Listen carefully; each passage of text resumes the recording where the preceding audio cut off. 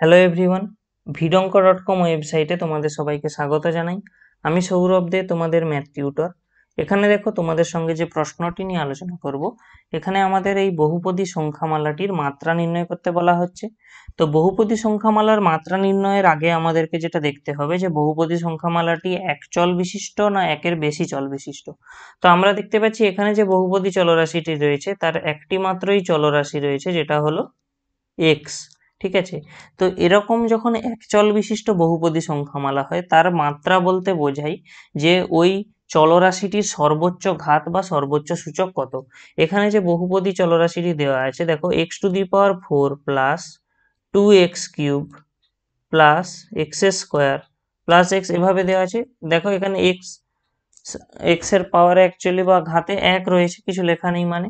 তো দেখো, এখানে আমরা দেখতে পাচ্ছি যে সমস্ত পদগুলি যদি ভালো করে লক্ষ্য করি, এই পদে দেখো এক্সের যে ঘাত, সেটা দেওয়া আছে চার।